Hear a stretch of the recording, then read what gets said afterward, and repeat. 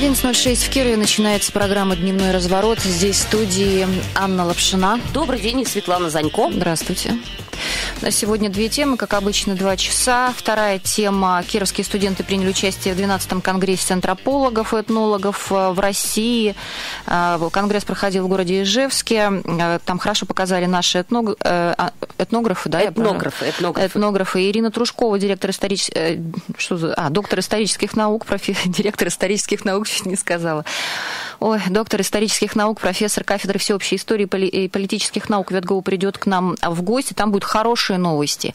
А вот начать нам сегодняшний день придется с серьезной проблемы, которая обозначилась 17 э, числа уже в Яве, да, то есть было написано письмо, было принято решение о том, что наша футбольная команда, профессиональная футбольная команда «Динамо» а, покидает второй покидает дивизион. второй дивизион и переходит в третий. Мы узнали об этом а, от наших коллег чуть раньше того, как было опубликовано официальное сообщение в а, официальной группе «Динамо» ВКонтакте. И на сайте городской и администрации. на сайте городской администрации. Вот ВКонтакте это письмо появилось 18 июля в 10.35 утра.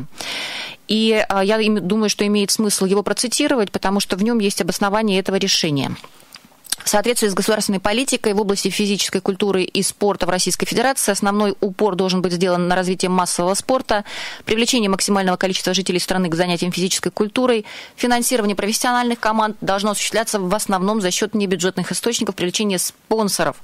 На протяжении последних четырех лет финансирование автономной коммерческой организации «Футбольный клуб «Динамо» осуществлялось исключительно за счет средств бюджета муниципального образования город Киров ввиду отсутствия достаточного количества средств на участие команды в первенстве России по футболу среди команд клуб ассоциации, клубов Ассоциации профессиональная футбольная лига. По итогам работы принято решение о переходе команды в третий дивизион. Данное решение принято с целью сохранения команды и предоставления возможности любителям футбола посещать игры полюбившейся команды. Вот, но э, человеческим языком э, то, что сейчас зачитала Светлана, да, обозначает то, что Киров лишается профессиональной футбольной команды, потому что «Динамо» переходит фактически в любительский э, дивизион. Да, возможно, это будут какие-то матчи, но совершенно непонятно сейчас, что будет с теми игроками, которые играли да, в составе. Выплатят, не выплатят им зарплату, потому что, судя по сообщениям ВКонтакте, на страничке клуба зарплату игроки не получали с апреля месяца. 215 комментариев там. А, да, но часть из них мы зачитаем. А, и э, мы хотели бы поговорить в том числе и с вами, наши слушатели, да, и мы спрашиваем вас, что для вас уход «Динамо» из профессиональной футбольной лиги. А, опрос размещен на нашем сайте, на нашей страничке ВКонтакте. Несколько вариантов ответа. Читаю по контакту. Значит, первый вариант – минус для Кирова, даже трагедия. Второй вариант – плюс для Кирова. Больше денег можно дать юным футболистам. Ну, вот это то, что обозначается в официальном сообщении. Ничего особенного. Результаты ВКонтакте минус для Кирова даже трагедия а, почти 50%, 49%, да. Плюс для Кирова больше денег можно дать юным футболистам всего 9%. Ничего особенного 42%. На сайте хакирова.ру все наоборот. Плюс для Кирова а, можно денег дать юным футболистам 44,5%, 41% с половиной говорят ничего особенного, и лишь 13% говорят, что это минус и даже трагедия. Ну, надо сказать, что аудитория сайта, аудитория ВКонтакте, конечно, отличается друг от друга, в том числе там и по возрасту, да. А, не знаю, возможно, наши слушатели, которые будут звонить нам по телефонам, они каким-то образом тоже разойдутся. Но у нас тут есть тоже свои, свои позиции. Я вот, например, высказывала неоднократно и по поводу команды Родины, Родины по поводу команды «Динамо», мое обывательское мнение, что, конечно, нужно больше денег отдавать на развитие массового спорта и детям. А те две команды, о которых все время идет речь, команда «Динамо» и команда «Родина», это совершенно ненужные структуры, а, на которые тратятся огромные деньги, мучают бедных игроков, которым все время не выплачивают зарплаты, все время какие-то проблемы, ими пользуются политики, туда-сюда их перебрасывают, в собственных интересах используют. Толку от этого совершенно никакого, на мой взгляд. Но у меня есть и оппоненты, конечно. Конечно, Света, разумеется, у тебя есть оппоненты, в том числе внутри нашей редакции. Нет, э, я принимаю твою позицию и в чем-то даже с ней соглашаюсь. Вопрос в другом. Э, вообще нужны городу профессиональные команды или нет? И кто должен их содержать? Э, если их содержать должен бизнес, а не бюджет, тогда вопрос следующий. А кто должен искать этот бизнес, готовы содержать команды, чья это задача. А, очень хорошо, очень удобно сейчас там, да, в том числе для представителей городской областной власти ссылаться на Владимира Путина, который сказал, что профессиональный спорт должен содержать себя сам. Да, да, да то есть это должны быть болельщики, которые покупают очень билеты удобно, и Очень бизнес. удобно, но билетами, извини меня, все-таки тут не ограничивается дело, тут должна быть э, грамотно выстроена система, в том числе продажи клубной атрибутики, еще что-то, еще что-то. Я не знаю, может быть, какие-то э, акции там по сбору средств на содержание а команды. говоришь о том, что должна быть очень профессиональная профессиональная Но, современная команда менеджеров, которые всем этим занимаются. Разумеется. Где она у нас? Ее нет. Нам так кажется, может, она есть, им не давали Возможно. работать, мы же не знаем. Давай будем узнавать э, об этом от наших э, спикеров. У нас сегодня целых четыре. Их запланировано по телефону. И, конечно же, от вас, э, уважаемые слушатели, болельщики и, наоборот, не болельщики команды «Динамо», можно и команды «Родины» тоже порассуждать о профессиональном спорте. 211-101 номер телефона прямого эфира. Мы сейчас хотим связаться с экс-президентом футбольного клуба «Динамо», депутатом Кировской городской думы Александром Камышевым. Надеюсь, уже сейчас наш редактор набирает разбирает его. А, а вообще, конечно, когда ты читаешь комментарии в официальной группе ВКонтакте после выложенного письма, а, диву даешься, потому что вот, например, а игрок команды Александр Захлестин пишет сразу же, буквально после этого сообщения, вот уже сутки вся команда пребывает в глубоком трансе. Вчера, будучи готовыми, готовыми к выездному матчу, нам сообщили, что команда в ПФЛ больше не будет. То есть даже игроков не предупредили? Похоже на то. Так, так было У нас резко есть принято решение. Звонок. Александр Камышев с нами на связи. Если я не ошибаюсь, Александр Владимирович, здравствуйте. Здравствуйте. Да, добрый день. А, Анна Лапшина, Светлана Занько, «Дневной разворот» «Эхо Москвы». Александр Владимирович, для вас это сообщение явилось неожиданностью или вы участвовали, может быть, в принятии этого решения? Мы не Нет, знаем, я не, в каком составе. Я не участвовал в принятии этого решения. Угу. Моя задача, когда я заступил на пост президента, было сохранить команду. Это я сделал. Ну, здесь решать главе администрации, наверное, все-таки учредителям.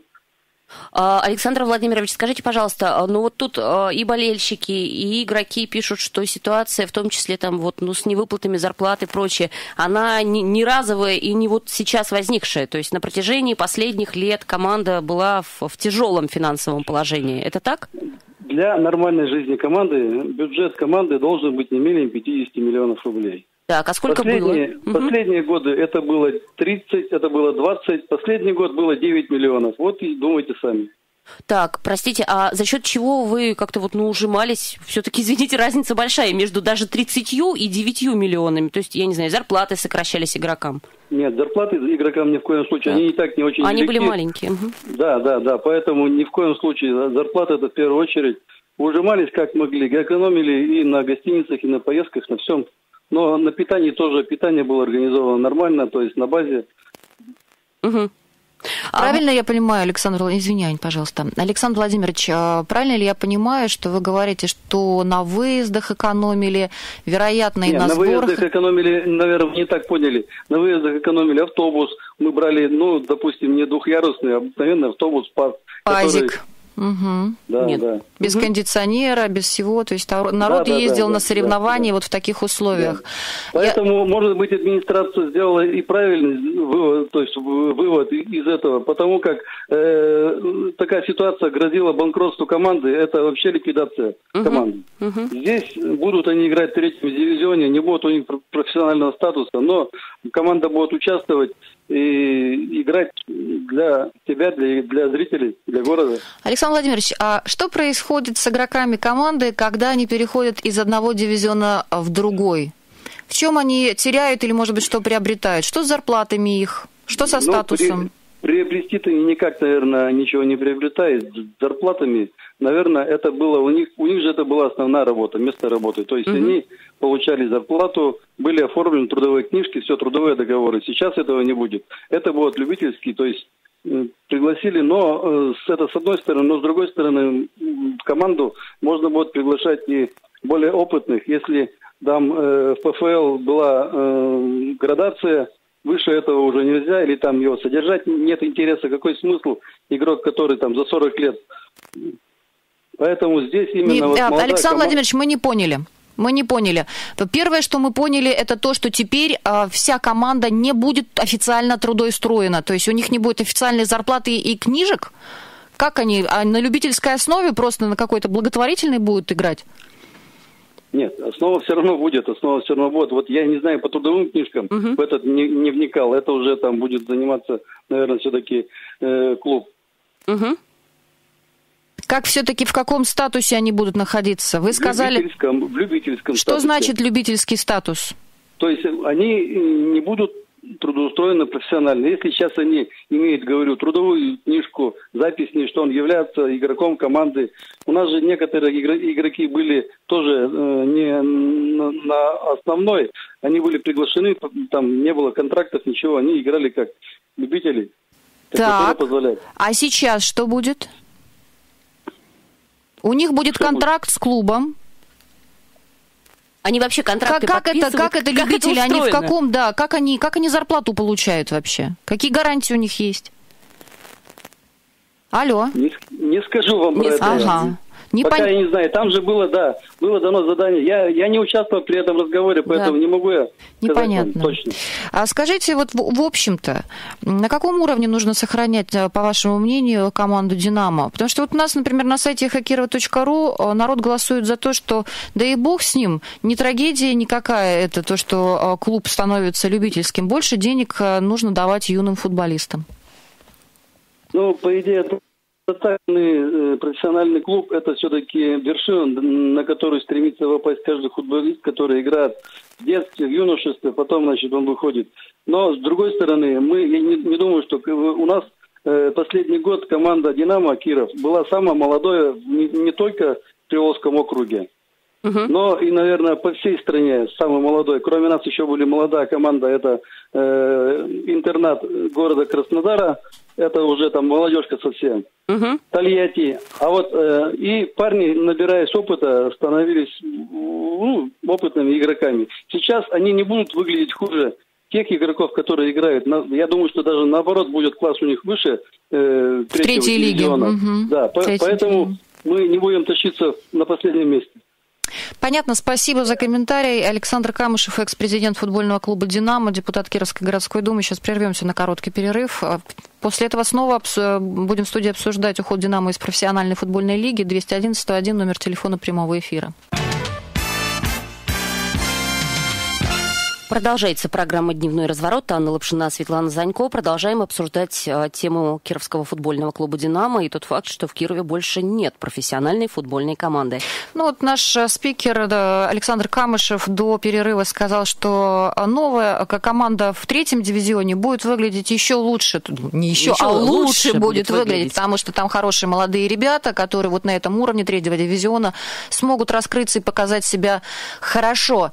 Но вот, кстати говоря, тот же Александр Захлесин, которого мы с тобой уже цитировали, ВКонтакте, э, говорит, подтверждает, что зарплату не выплачивали с апреля, и он говорит, чтобы играть в КФК, это что такое КФК? Аня? Ты у меня спрашиваешь? Это третий дивизион, сейчас мы посмотрим. Девушки. Нужны те же деньги, оплата, угу. проезд, гостиница, питание. Видимо, это и есть этот третий дивизион. А раз денег нет, говорит Александр, то как можно играть даже в КФК? Для меня загадка. Нет, но в любом случае нужны же средства на выезды. Это же нам и Александр Камышев подтвердил сейчас, да? То есть ребятам-то все равно надо будет ездить вот, на матч. Ты знаешь, меня это тоже волнует. Те же сейчас, самые гостиницы, Сейчас, те да, в третий автобусы. дивизион перевезли, перевели, э, да, формальность такая исполнена, ну а денег-то сколько нужно тогда? Что, сразу резко их стало меньше? То есть если надо было 30 миллионов, то 9 теперь хватит? Но и те 9, Ань, тоже ведь из бюджета были Конечно, выплачиваемы. А задача, еще раз мы возвращаемся к задаче, поставленной Это президентом. Задача найти спонсоров. Найти спонсоров.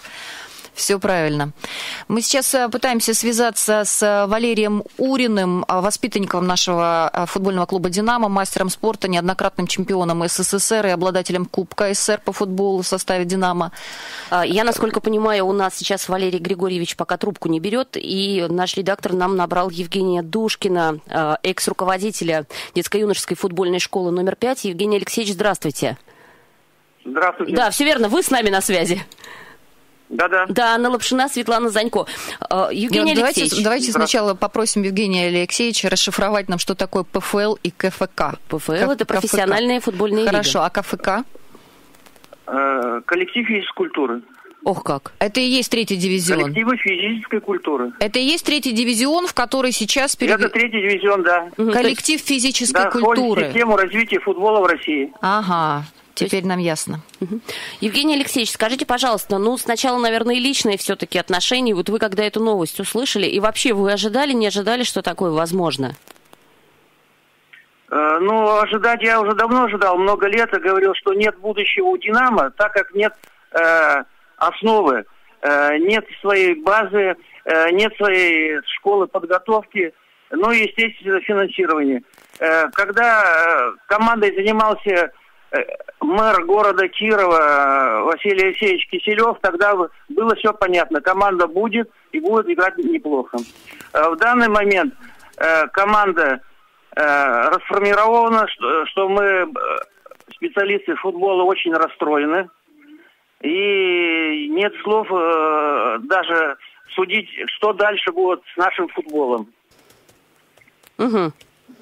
А, слышно? Евгений Алексеевич, да, слышно. Скажите, пожалуйста, ну, понятно там, да, а, уходит сейчас в третий дивизион. Вот у меня вопрос следующий. С одной стороны, да, вроде... Да, извините, пожалуйста, да? первого. Какой может быть третий дивизион, когда турнир уже начался, провели 6-8 игр, и так. кто сейчас примет команду «Динамо» в третий дивизион? Я это так смешно. понимаю, что в этом... И кто это говорит, в это этом... э, ложь, натуральная ложь. В этом сезоне команда не играет? Ну, кто, конечно, играть, она даже и на область не будет играть, потому что, может, за молодежную будут там играть, и все.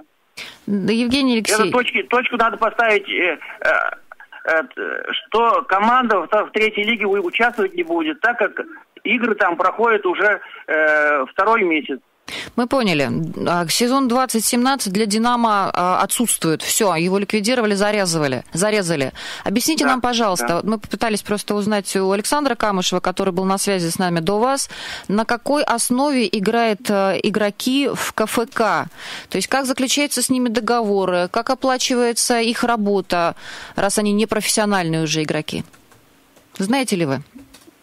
Ну, мы возьмем пример машинки, маш, мастро, угу. машинки команды машиностроителей, которая участвовала.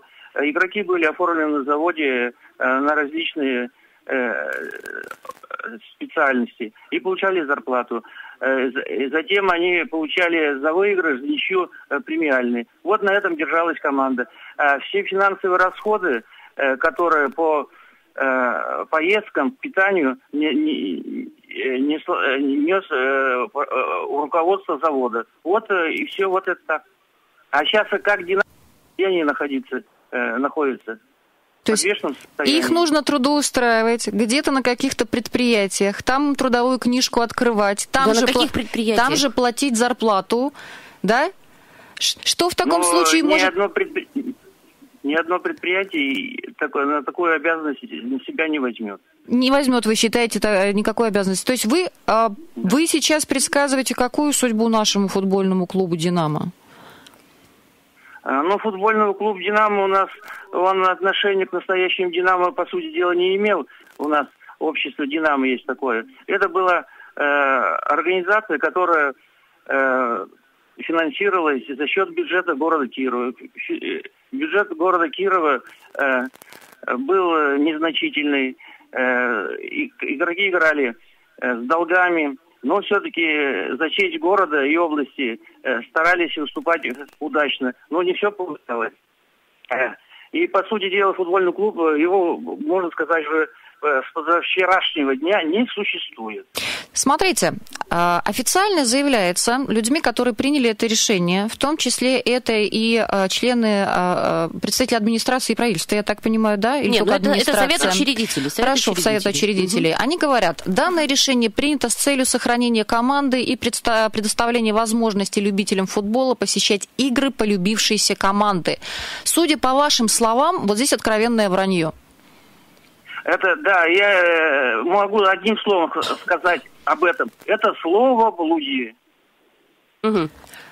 Евгений Алексеевич, я все-таки а вот... Потому что э, кто принимал решение, они к футболу, э, не специалисты, они к футболу не имеют никакого отношения. Они просто чиновники. Да, я прошу прощения. Я, насколько понимаю, вы э, немножко в курсе, да, вот деталей того совещания, на котором принималось это решение, или нет? Ну, Но да, все равно я... же вы в профессиональной среде это обсуждали потом. Да, да, конечно, конечно. Да, я, насколько понимаю, там решение принималось не совсем единогласно все-таки. Да, э, надо отметить роль э, Плехова Геннадия Ивановича, угу. руководителя территориального управления э, Новоярского района, который был за то, чтобы команду э, сохранить. Вот это положительно. Да, но... Остальные, э, я как э, понял из разговоров, э, были против этого. Да, но с другой стороны, вы говорите, что давно нужно было принять это решение о ликвидации команды.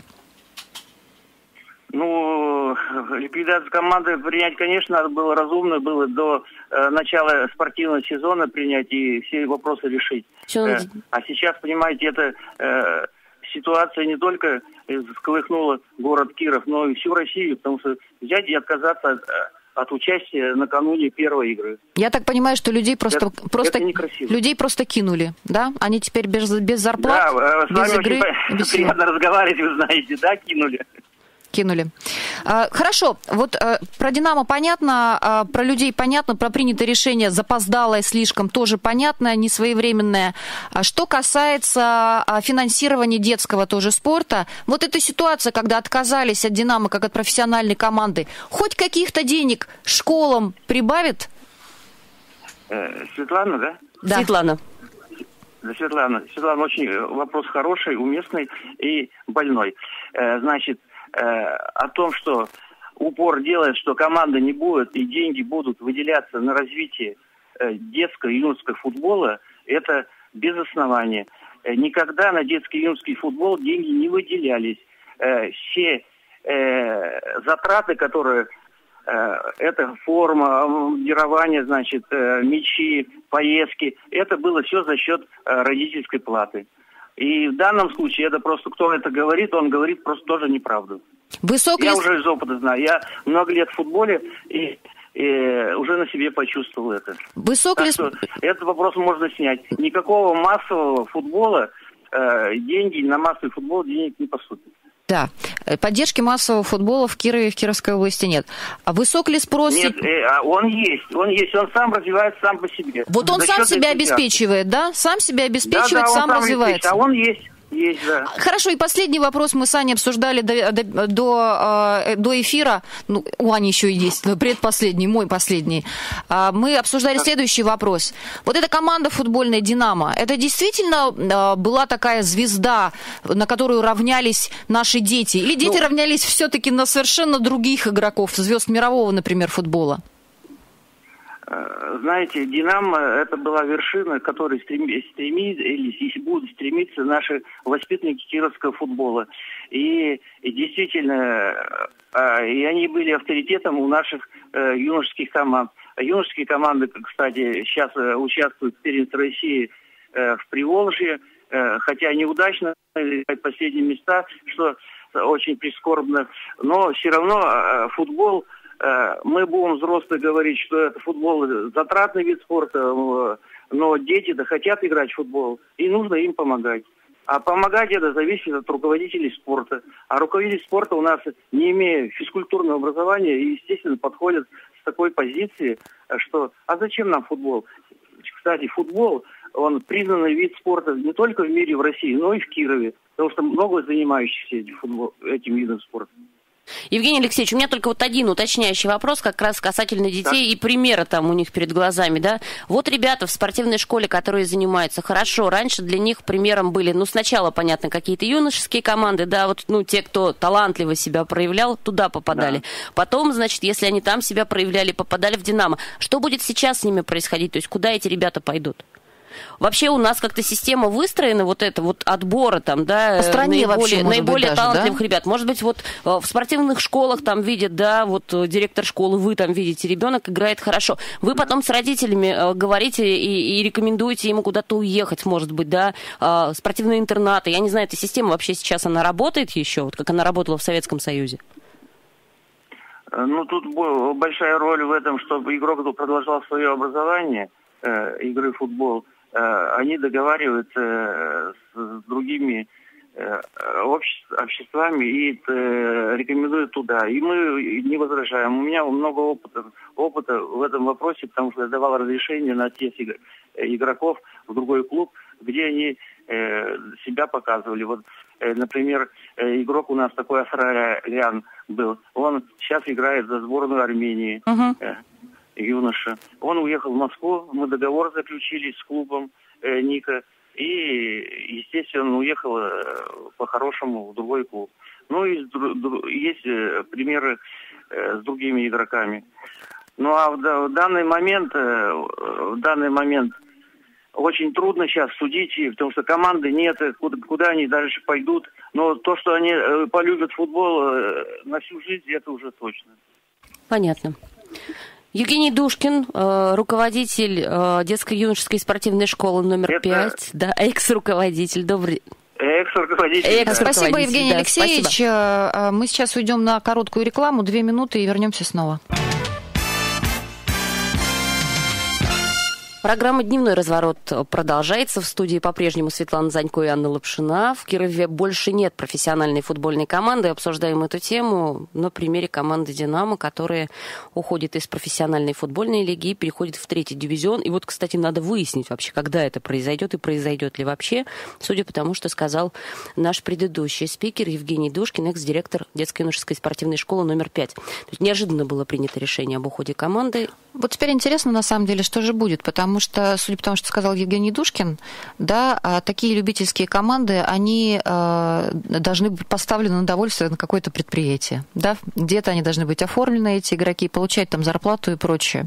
Как сейчас это все будет оформляться у нас э, в городе, совершенно не ясно. При этом надо напомнить, что буквально вчера в этой студии Владимир Васильевич Быков, да, э, глава областного законодательного собрания Кировской области, сказал, что команда будет сохранена, что это правильное решение а, для того, чтобы наши болельщики ходили, смотрели футбол, потому что «Динамо» — это все-таки команда, которая представляет и будет представлять нашу область и город в стране. Когда? когда-то. Когда это произойдет? Вот как это все будет проходить, совершенно непонятно. А, а сейчас мы, я так понимаю, что все-таки немножечко к истории сначала обратимся. С нами на связи а, Василий Алексеевич Киселев, глава администрации Кирова с 1997 э, по 2007 год. Василий Алексеевич, здравствуйте. Здравствуйте. Да, добрый день. Анна Лапшина, Светлана Занькова с вами беседует. Скажите, пожалуйста, а, вот у нас наш предыдущий спикер Александр Камышев сказал, что в свое время вы, будучи главой администрации, находили средства на содержание команды «Динамо». И не только «Динамо», насколько я помню. Вы знаете, значит, э, не только «Динамо», а мы строили церкви, организовывали да. кинофестивали, авиашоу, новогодние балы мэра. Значит, дни э, города, э, звезды приезжали первой величины. И ведь все это финансировали предприятия. Так. Сегодня предприятия ушли из города. Сегодня 800 предприятий ушло из города Кирова, зарегистрировано в других местах. А те, которые остались здесь, вот я вам э, пример приведу. У меня есть приятель один, он ездит на машине, ну, где-то 6,5 миллионов рублей. Жена ездит на 4,5 миллиона. Значит, э, прекрасный э, коттедж. Спрашиваю, а сколько зарплата? Он говорит, минимальная. А что ты хотишь? Если все предприятия ушли из города Кирова, они хотят на нас, на нас, на маленьких предприятиях э, вы, э, выжить. Да, никогда этого не, не будет. И, э, понимаете, дело в том, что вот Динамо, Динамо, мы с вами говорим, я не слышал начала разговора, значит, э, то, что ликвидировали «Динамо», это понятно. Значит, сегодня ликвидировали баскетбольный клуб э, «Буревестник». Сегодня ликвидировали, ну, все ликвидировали. Все команды, и, которые кто... играли от Кирова в высших лигах, там, в, в том или ином виде спорта, и, и, и они потихонечку все, все? уходят. Так. Понимаете, до тех пор, пока э, областью будут править, областью и городом будут править случайные люди, а сегодня там случайно люди, абсолютно случайно, понимаете? С базаров взятые. Значит, ну, я, это может быть длинный разговор. Значит, Василий но... Алексеевич, да, давайте вот все-таки, э, э, ну, вот эта трагическая ситуация, вообще уход Динамо из профессиональной футбольной лиги, или к этому все шло и, собственно, там закономерный итог? Это трагическая, это трагическая э, ситуация с Динамо, значит, я, и Буревестник ушел, и, и то, что вот Родину мы развалили, мы развалили Родину сегодня. Угу. Ее же не будет, понимаете, в, в начале года, в начале года э, ее не будет. Э, в начале сезона вы имеете в виду? А? В начале сезона, на старте сезона следующего. Вы про это да, сейчас? В начале, да, в начале сезона, угу. совершенно верно. Хорошо, Василий Алексеевич, вот такой вопрос. Говорят, что команда сейчас уходит из профессиональной футбольной лиги, переходит в третий дивизион. Когда она начнет там играть, пока непонятно. Мы так и не выяснили этот вопрос. Будет это весной следующего года, не будет. Потом, говорят, найдется спонсор, и команда может вернуться обратно. Вы верите в то, что спонсора найдут или нет? Вы знаете, дело все в том, что для того, чтобы э, получить право выступать в профессиональной лиге, даже во второй лиге, нужно занять первое место. Мы это понимаем, да. Да, а его на первое место никогда не займет. Почему? Потому что, ну, нет споря. Я, я еще повторяю, угу. надо смотреть в корень, в корень э, все эти проблемы. До тех пор, пока будут править областью и городом случайные люди, а это случайные люди, понимаете? Им это совершенно ничего не надо. Вот бывший генерал, вот, мы уже по этим лазу идем, начиная с Рудского. Вот Рудской, Шаманов, Громов, мой любимый Лебедь, который приезжал в город Киров. Значит, ничего не показали. Значит, одно дело Родину защищать, э, и второе, и другое дело совершенно, значит, э, бороться с бурьяном, с крапивой, с лопухами, с, со снегом на крышах. Это угу. совершенно разные вещи. Разные. Это вы сейчас о Владимире Васильевиче Быкове говорите? Я о Быкове, Васильеве говорю. Угу. И о Васильеве. Угу. И тот, и другой. Ну, и, понимаете, ну, можно, можно в разведке прослужить хоть, хоть 15 лет, хоть всю жизнь прослужить. Но губернатором быть, слушайте, ну это же, это же штучный товар. Ну, не так много, конечно, таких людей, да. Василий Алексеевич, понятно, спасибо большое. Поняли, надо искать все-таки руководителей грамотных, да. Спасибо. До свидания. 211 101 номер телефона прямого эфира. Вы тоже, слушатели, можете поучаствовать в нашей беседе. Но а, я возвращаюсь еще раз к обсуждению в а, группе ВКонтакте. Здесь тоже а, шла полемика по поводу того, кто искал или не искал спонсоров на команду. Некоторые игроки в обсуждении участвовавшие говорят, что, судя по всему, спонсоров даже и не искали, судя по тому, что денег нет. А другие говорят, что а, а спонсоров и искать не надо. Вот если бы команда показывала блестящую игру, сразу бы спонсоры нашлись и сами бы на, на команду вышли. Это вещи взаимосвязаны. Невозможно играть за небольшую зарплату, которую не выплачивают вовремя с энтузиазмом, понимаешь, и горящими глазами. Ну, невозможно. Какое-то время да, но когда это продолжается на протяжении длительного периода, нет. Я не очень э, там согласна с этой, э, с этим направлением мысли. Правда? Да, не очень согласна, что это абсолютно взаимосвязанные вещи. Ну, э, или, может быть, это одна сторона медали, а вторая как раз то, что если есть хорошая игра, тогда и спонсоры приходят. А на это мертвую команду то нет. Это безусловно. У нас есть звонок. Алло? Да. А, здравствуйте. Это Валерий Урин. О, нет, это, это Валерий Урин. Все правильно, да. Валерий Григорьевич, добрый день. Да, добрый день. Очень плохо вас слышно. Попытайтесь, да, поближе, поближе к трубке держаться. Да, давайте говорите, я в машине, поэтому, О, прошу быть... прощения, да, Валерий Григорьевич, да. скажите, пожалуйста, вот это решение по «Динамо», по его уходу из профессиональной футбольной лиги, вам кажется решением правильным, грамотным или э, неправильным? Нет, а почему вы решили, вы считаете, что решение было какого-то руководства? Они по игре вылетели, собственно говоря. По игре? Но, конечно, здесь с денежными вопросами это другой вопрос, что не могли потянуть все то, что бремя, которое наложилось на них, штрафы угу. и прочее, прочее, долги, так сказать. Ну, конечно, правильно. Если они э, приняли это решение, то я думаю, что это совершенно правильно. Почувствовать, что такая первая лига. Но все дело в том, что Динамо никогда не вылетал. Это было, с одной стороны, удар по имиджу Динамо. Угу. Это была очень обидная штука. Но Спартак тоже в свое время. Э, в конце, в конце 70-х, насколько я помню, да? Да, да, да. Да. Да, Валерий Григорьевич, скажите, пожалуйста, а, ну, то есть вот вы говорите, что, ну, условно так, есть такая фраза, результат по игре, да, то есть вот, ну, ну не тянут они, да? Почему не тянут? Ну, вы, вы говорите, что как играли, там, собственно говоря, вот третья лига теперь. Нет, все дело в том, что это было. Сейчас они а вернулись в высший Так. И вернулись очень хорошо, показали, что команда отвечает всем требованиям. А, простите, мы, мы сейчас про кого говорим? Мы говорим про московское «Динамо» а, про... или про кого? Нет, мы говорим про кировское «Динамо», я прошу прощения. А про кировских «Динамо», вы знаете, я не знаю ничего по абсолютно. Почти. Ах, вот Поэтому... как. Я прошу да. прощения, да-да. Так, у меня есть вопрос. Э, Евгений Алексей, э, Валерий Григорьевич, скажите, пожалуйста, региональные футбольные команды, которые играют в профессиональной лиге, в стране вообще имеют перспективу или они потихонечку загибаются? Они, конечно, загибаются, потому что падает финансирование команд, и они приходят в упадок. Все дело в том, что политика, та политика, которая взята на вооружение, это осень, весна, не имеет под собой никакой основы. Она вредит региональным командам, к сожалению. Вы имеете в виду политику, которая была озвучена президентом страны, когда он сказал, что команды профессиональные должны сами себя окупать, спонсоры и прочее, а не существовать за бюджетные деньги? Это ничего не будет, вы знаете. Дело все в том, что в свое время существовали команды и развивались за счет предприятий. На каждом uh-huh. предприятии была футбольная команда. И вот за счет этого ну, все люди работали на производстве, играли в футбол. И все это потихоньку развивалось. А сейчас, конечно, не будет ничего. Но государство все равно должно помогать.